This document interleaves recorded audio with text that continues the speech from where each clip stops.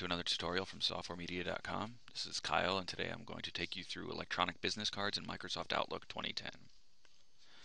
So to create a new business card you need to add yourself as a contact. So what you're going to do is go to the Home tab in your ribbon, go to New Items, and go to Contact.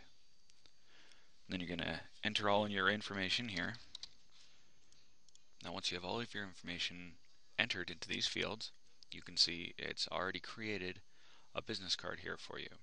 So you can edit your business card because as you can see it's it's a lot of information there. It's kind of cluttered. So in order to edit your business card you can either go to business card here under options or you can right click on the card and go to edit business card.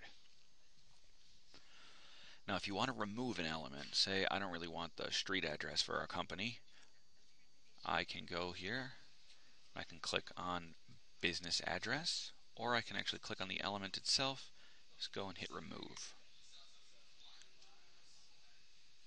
next you're going to want to change the design of your card so you can change the layout so you can set your image as the right this is just a placeholder image you can set the image to anywhere you want you can set it as a background image text only on the bottom the top, etc., ergo, and so forth.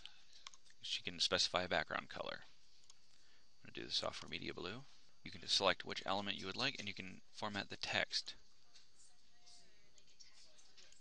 Make my name much bigger. Change the color to white so that it's readable. And you can even insert a profile image.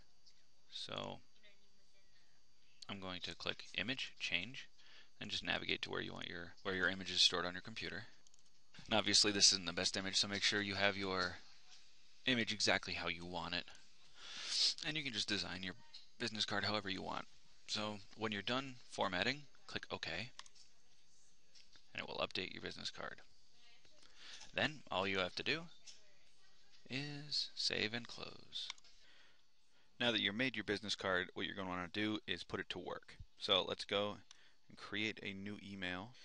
So go up to the Insert tab, click Business Card, other business card. Scroll down to the business card that you made, and it will show up in your email. And that's all there really is to it. Thanks for joining us here at softwaremedia.com. Hope to see you again.